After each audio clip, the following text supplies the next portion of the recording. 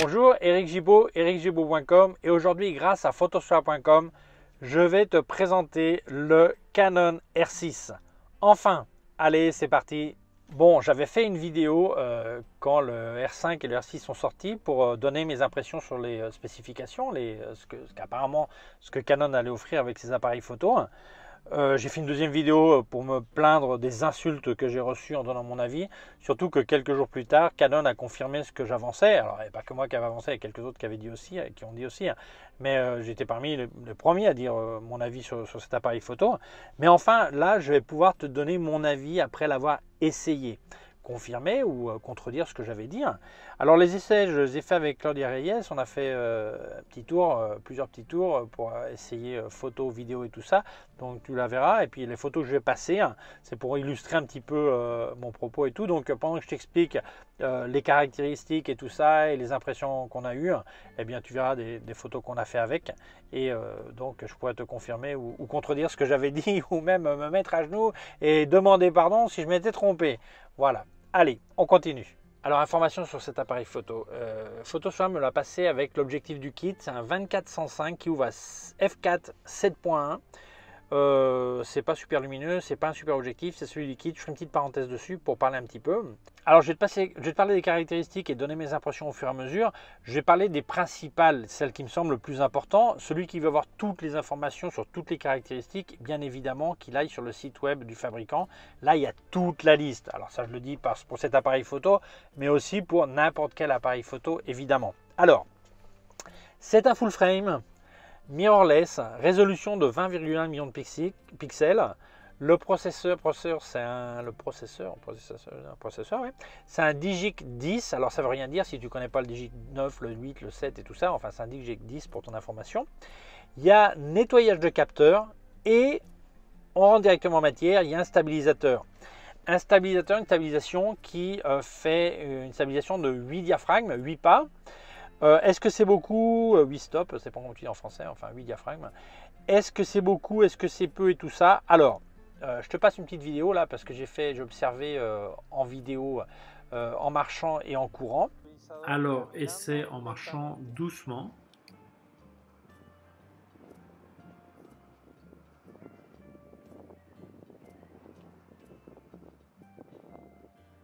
Essaie en courant le plus vite possible sans tomber.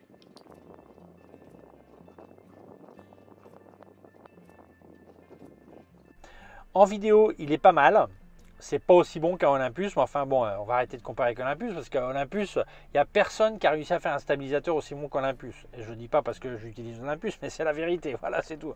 Mais par contre, en photo, il est euh, très bon. Tu peux vraiment euh, faire des photos d'une certaine durée, une seconde à main levée sans problème, et ça tient la route. Voilà. Donc, le stabilisateur, bienvenue à bord. C'est quelque chose qu'on aurait attendu sur le Canon R qu'on n'a pas vu. Et là, on le trouve ici. Alors d'ailleurs, est-ce que ça, c'est le remplaçant du Canon R Je ne sais pas. Je ne sais pas. Enfin bon, euh, bref, il est là. Et il marche. Le stabilisateur marche. Le système d'autofocus, c'est un dual pixel euh, qui couvre 100% de la surface du capteur. Et je dois dire qu'il est vraiment très très très bon, rapide, efficace. Alors, je parle en photo. En vidéo, j'en parlerai après. Alors, il a un système de détection d'œil et un truc bizarre, moi je comprends pas. Alors, peut-être que moi, si moi je suis un naze et j'arrive pas à configurer, ça détecte un œil, effectivement, celui qui veut. Moi, sur mon Olympus, sur le Fujifilm que j'ai essayé l'autre jour, sur les trois cartes, tu laisses choisir l'œil, celui qu'il veut, ou le gauche ou le droit. Là, j'ai vu ni gauche ni droit, sinon un œil. Voilà, ok, truc que je comprends pas.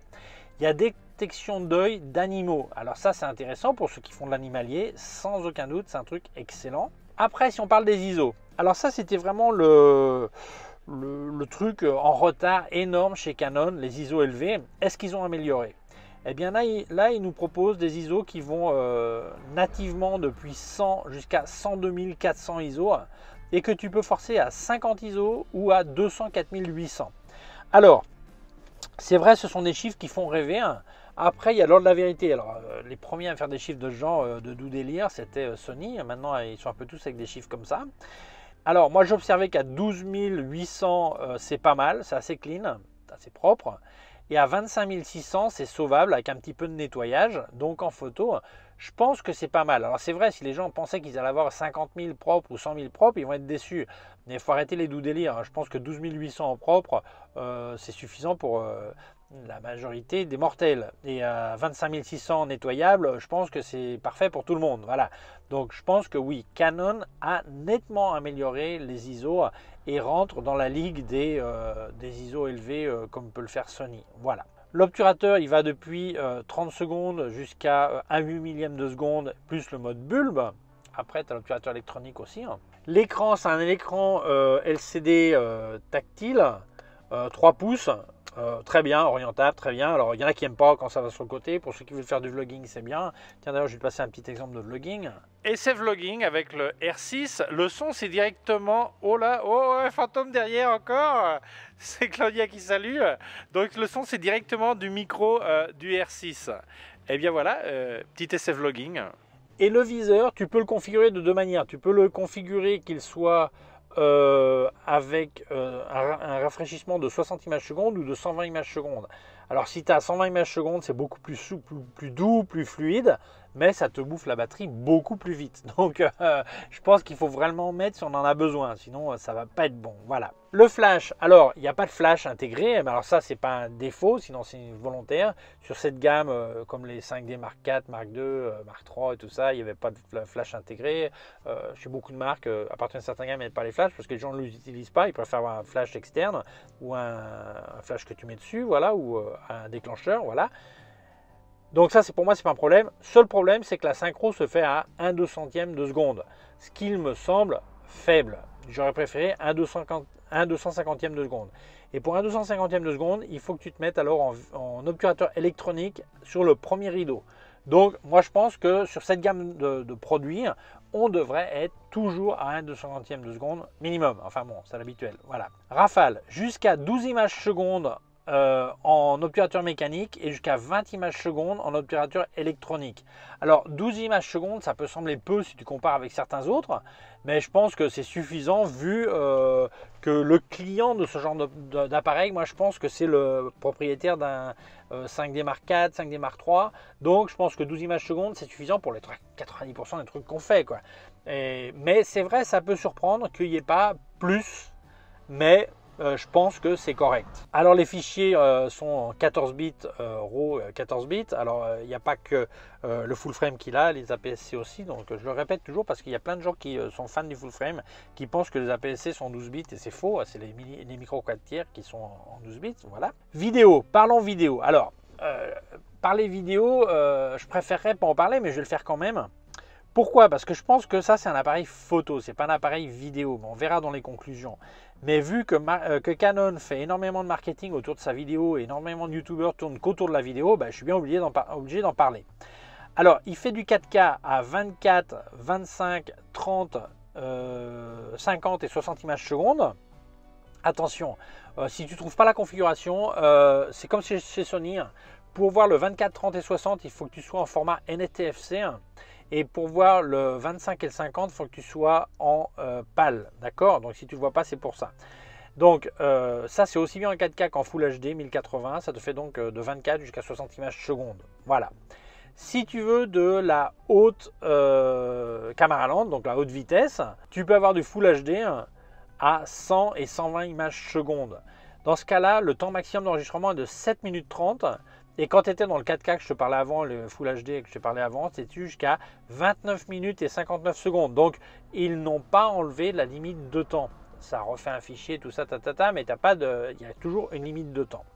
Important, quand tu es en 4K UHD, ça couvre 84% euh, de l'image. C'est-à-dire que tu as une recoupe, tu as une retaille de 6%. Donc, euh, c'est pas énorme, hein, c'est bien mieux que certains qui recoupent à 25%, mais voilà. Et après, tu as la possibilité d'enregistrer avec une plus grande qualité. En fait, ça fait une prise de plus de 4K et après, ça redescend à 4K pour donner le fichier final. Dans ce cas-là, ça te laisse 62% de la surface, donc ça recoupe nettement. ok et euh, dans ce cas-là, tu es aussi à 100 euh, mégabits. Dans ce cas-là, ta vidéo est codée en 10 bits. ok ça fait aussi de la vidéo HDR, mais je rappelle que la vidéo HDR, tu peux l'avoir que si ton écran supporte de la vidéo HDR. ok, ou un téléviseur ou quoi que ce soit. Donc euh, enregistrer dans ça, c'est vraiment destiné à ceux qui veulent voir là-dessus. Voilà. Ça supporte aussi le log 1 de Canon, donc qui te permet d'avoir un profil plus plat. Et après, tu mets les couleurs, contrastes et tout ça en post-production. Donc la partie vidéo, euh, beaucoup sont très intéressés par ça. Mais voilà, ça ce sont les caractéristiques. Continuons sur la partie photo. Eh bien, ça fait euh, important, je le dis parce qu'il y a, des gens qui, m'ont remercié que je le dise. Ça fait du focus stacking, c'est-à-dire du focus bracketing, ce qui te permet de déplacer le point de mise au point, euh, j'aime mieux dire. Surtout en macro, c'est intéressant si tu veux pas qu'il y ait que la patte de la mouche qui soit mise au point, mais toute la mouche, ça t'intéresse de que la mise au point puisse se déplacer. Donc oui, ça fait focus stacking. Ça fait aussi du time lapse. Et là, un truc bizarre qui me surprend un petit peu, euh, quand tu vas euh, sur les caractéristiques de Canon, sur le point 12, ça indique qu'il euh, y a une légère tropicalisation. Ça veut dire quoi? Ça veut dire une pluie fine, une petite brume, un petit peu d'humidité, un petit peu de crachin, euh, c'est pas clair. Alors moi je comprends pas que sur cette gamme à 2500 euros, il n'y ait pas une vraie tropicalisation. Euh, évidemment ils veulent protéger leur gamme plus haute, mais ça c'est la politique de Canon de chaque fois. toujours essayer de protéger le plus cher. Donc moi dans cette gamme, je comprends pas que ce soit vraiment tropicalisé à fond les manettes. Je ne comprends pas. Voilà. Connectivité, ça USB-C, Wi-Fi, Bluetooth, HDMI, micro euh, type D, ok. Euh, connecteur microphone, connecteur auriculaire, donc tout ça euh, auriculaire casque, voilà, donc ça c'est ok. Carte, ils ont mis double carte UHS 2, alors c'est très bien parce que souvent ils mettent UHS 1 et l'autre c'est UHS 2, les deux sont UHS 2, donc c'est bien. Autre limite, ben, ça enregistre la vidéo seulement à une carte de mémoire, pas aux deux. Alors si tu veux faire une copie de sécurité, ben, c'est pas possible. Tu enregistres seulement sur une carte. La batterie. Alors la batterie, il y a deux types de batteries. Il y a là, alors je le lis hein, parce que là c'est pas facile. LPE6NH, c'est celle qui vient de série et c'est celle qui donne la plus grande autonomie. Mais tu peux aussi mettre les LPE6N, d'accord?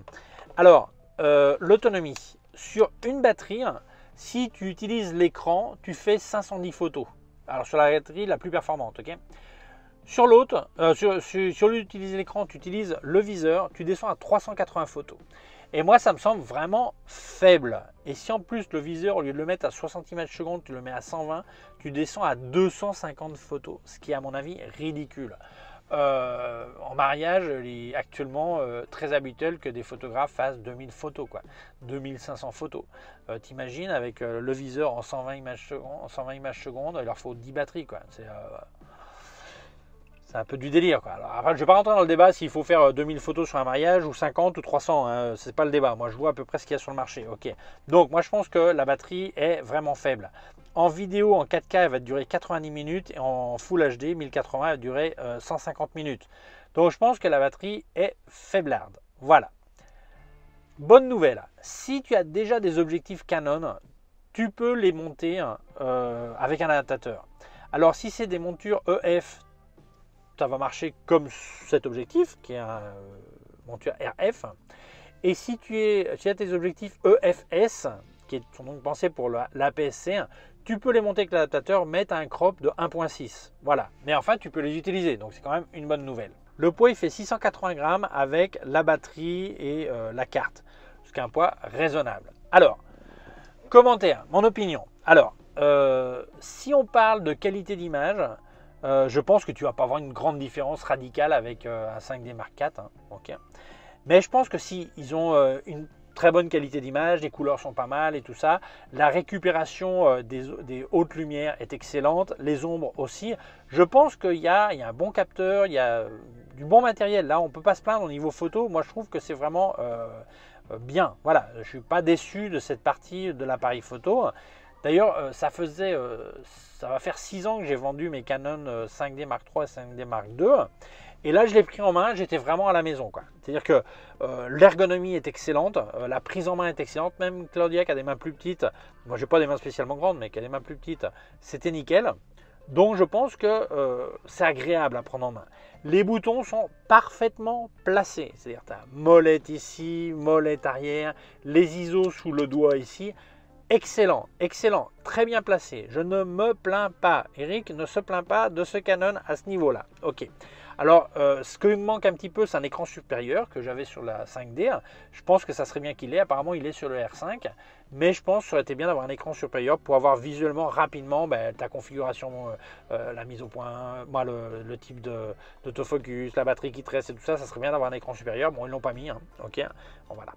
Mais, mais tu vois, avec le joystick ici, tout ça. L'ergonomie, il n'y a vraiment rien à dire. Rien à dire.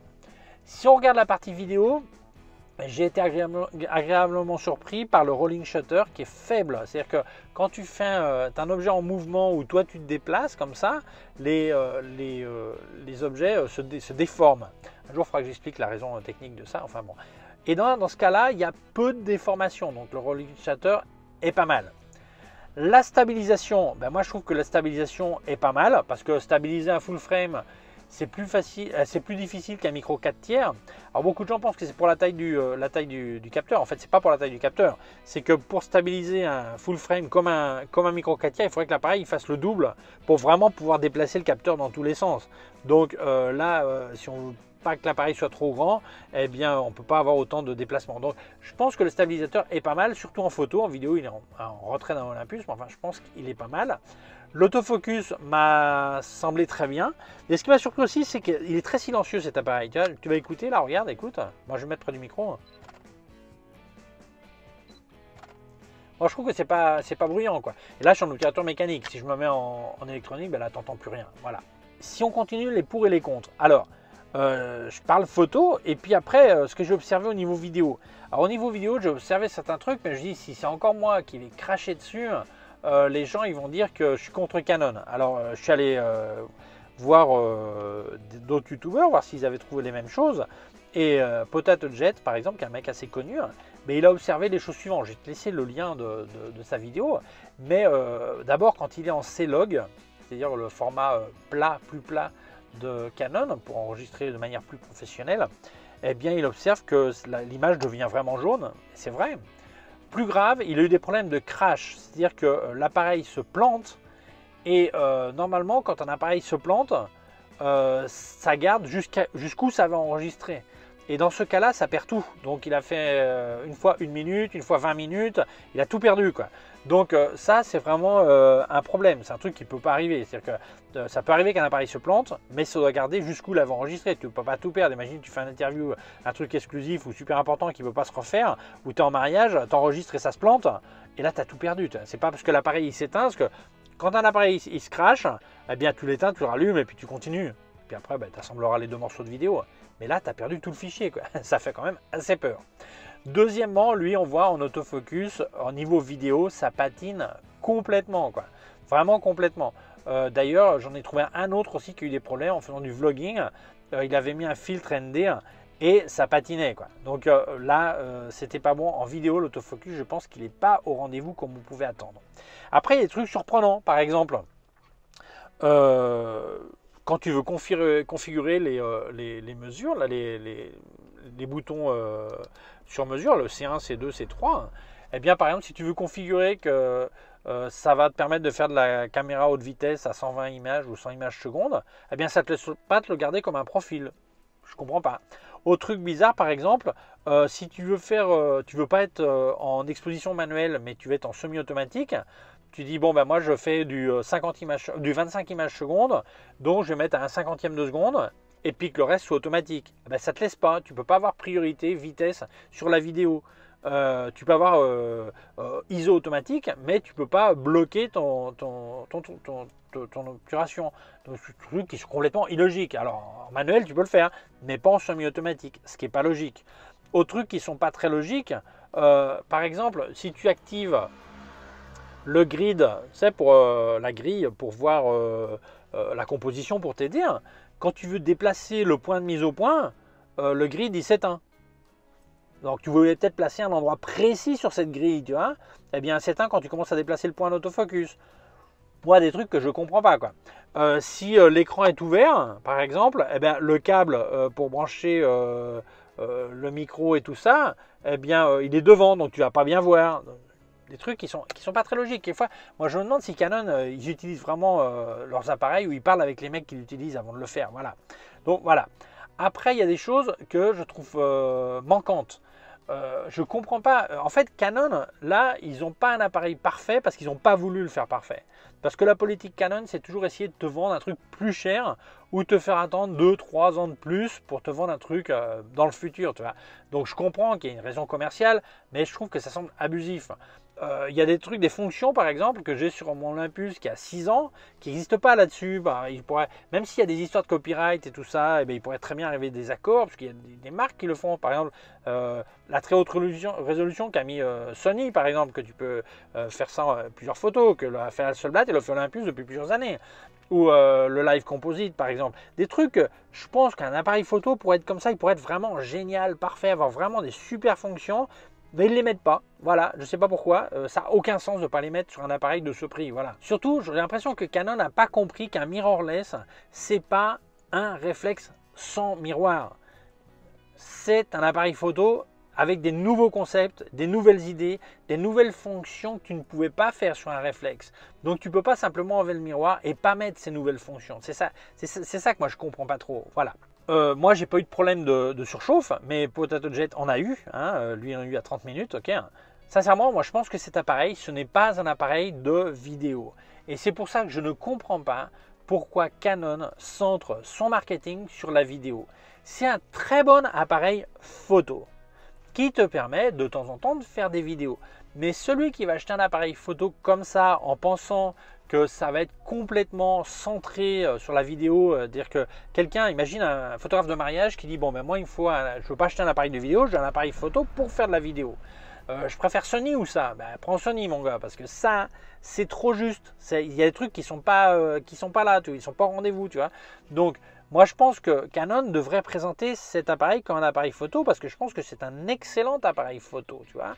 Mais tu es en train de payer un plus pour du, euh, de la vidéo qui est euh, pas forcément besoin et pas forcément au rendez-vous. D'ailleurs, c'est la grosse question. Qu'est-ce qui est mieux, ça ou un Canon R eh bien, celui-là, il, a la, il a la stabilisation, il a double carte, donc je pense que c'est mieux qu'un R, mais il coûte quand même 900 euros de plus qu'un R. Donc on se demande si le R n'est pas suffisant. Voilà. Donc, je pense que ma conclusion, c'est la suivante. Euh, tiens, ben, je te laisse ce qu'avait dit Claudia Reyes sur cet appareil. Alors je lui demande euh, entre l'Olympus et ce Canon, qu'est-ce qu'elle en pense eh, ben, La réponse, euh, elle préfère l'Olympus, c'est tout simple. Voilà. Et sincèrement, je pense que euh, cet appareil, on doit y penser comme un appareil photo. Je pense que si tu viens du monde 5D Mark III, Mark IV ou Reflex de chez Canon et tu veux passer au mirrorless, c'est une excellente option qui n'est pas spécialement bon marché, mais c'est une excellente option. Euh, je pense que ça pourrait être mille fois meilleur. Moi, j'attendais quelque chose mille fois meilleur. Mais euh, le problème, c'est qu'en sortant R6 et R5, ils veulent pas se marcher sur les pieds et tout ça. Mais je pense qu'ils pourraient faire un appareil photo aussi bon que le R5, euh, si on peut parler de bon au niveau du R5, mais aussi ambitieux que le R5 avec ces 20 millions de pixels du R6. Donc moi je vois pas où serait le problème. Euh, sur la gamme 5, 5D, euh, il y a le 5D qui a énormément de résolution euh, par rapport au, 5D, au, 5D Mark IV, par exemple, au Mark 3 ou Mark 2. Ah, donc moi je pense que là-dessus, Canon est en retrait. Parenthèse, parenthèse, parenthèse, l'objectif. Alors, l'objectif, on parle euh, en, APS-C, euh, quand il y a un 1855, on parle d'un euh, presse-papier. Ce qui n'est pas juste parce que bon, c'est vrai que ce pas des objectifs qui sont super performants, mais on peut faire beaucoup de choses avec un presse-papier quand même, pas seulement du papier, je parle en photo, tu vois. Et là, ils ont sorti un 2405 f4 7.1, donc en théorie un presse-papier. Euh, là, j'étais en train d'éditer la, vidéo et euh, j'ai re-regardé une fois de plus les photos pour vérifier que tout était OK, tout était bien, j'allais bien dire les choses correctes. Et puis, euh, je revois des photos que je n'avais pas sélectionnées, mais sur ciel bleu, parce que sur le ciel, sur des fonds dans les coins sombres, on ne se rend pas compte, mais sur le ciel bleu. Et là, je vois qu'à 24 mm, l'objectif vignette énorme. Donc en fait, ce n'est pas, pas un objectif 24-105, euh, mais un, objectif utilisable 28-105. Donc déjà, tu n'es même plus à, ouverture à diaphragme maximum.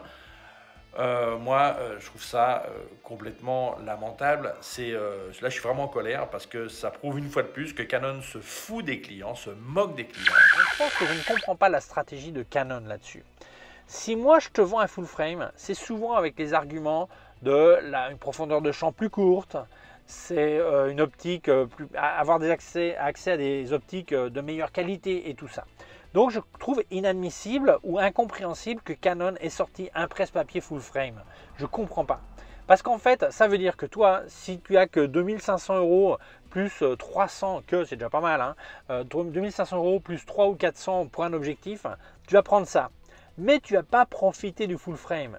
Donc il aurait été bien plus logique si tu voulais du Canon d'acheter un 90D et d'avoir de bons objectifs qu'acheter un full frame pour avoir ça là-dessus. Là, tu viens d'aller chez le concessionnaire Ferrari, hein. il t'annonce le prix hein, et les trains de pneus sont en option. Il dit bah, il y en a pour 2000 euros de pneus ou 3000 euros de pneus. Tu dis ouh, mais c'est bien trop. Ah, mais vous inquiétez pas, monsieur, nous avons des roues en bois.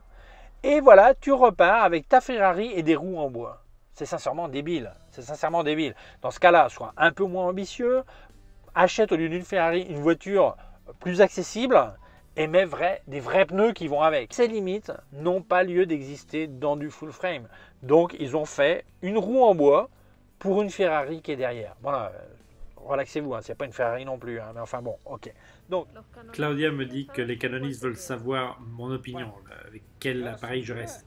Eh bien, euh, euh, pour le poids, les performances, tout ça, je préfère, je préfère l'Olympus, mais je dois reconnaître publiquement que cet appareil photo, comme appareil photo, est excellent.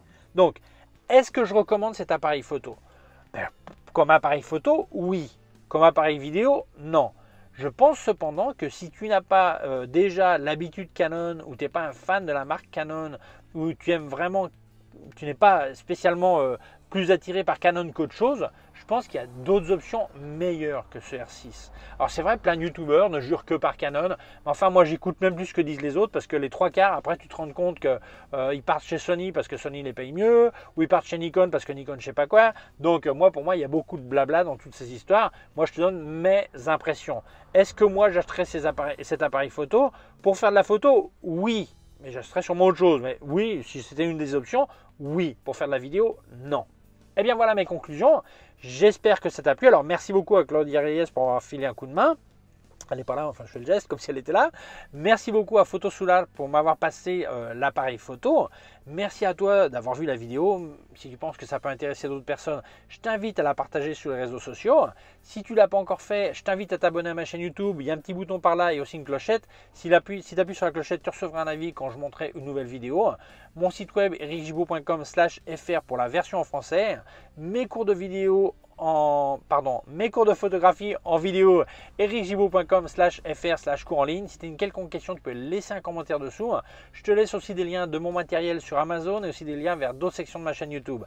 Prends soin de toi, merci beaucoup et à très bientôt. Ciao